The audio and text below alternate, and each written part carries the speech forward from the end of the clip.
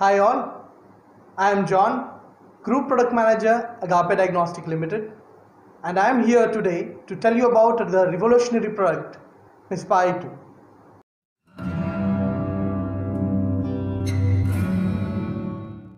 In India, protein estimation was always a challenge due to two reasons. One, the availability of the technology, and second, the cost of the diagnosis. During this period, Agappe in 2011 came with MISPA i2, which was the solution for protein estimation in rural India.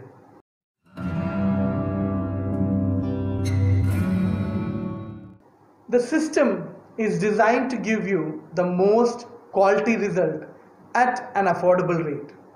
Let me tell you about the features of MISPA i2.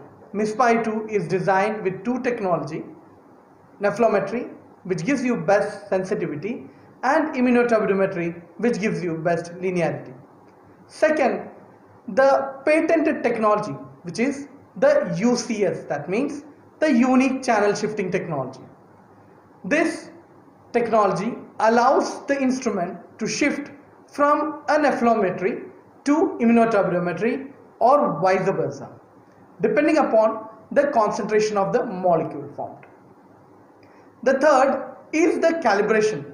As you know, the cost of calibration is always there with biochemistry analyzers. Doing a multi-point calibration is also a difficult task.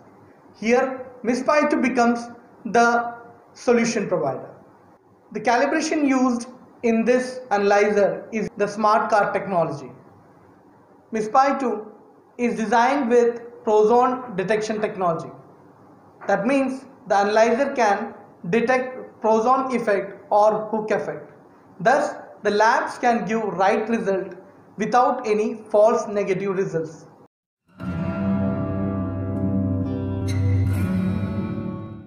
As I said earlier, in MISPA i2, we can do 25 different kinds of protein estimation.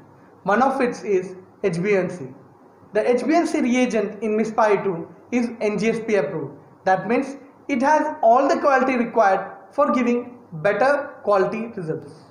We are very happy to inform you that MISPA i2 has received various awards and recognition from national and international prestigious organizations. As you know, now that MISPA i2 is the need of every lab. But as the time has moved on, we have designed one more technology which is the next revolution. Yes, MISPA i3. In the next episode, I am going to tell you about MISPA i3, the cartridge based automated nephelometric analyzer. Thank you.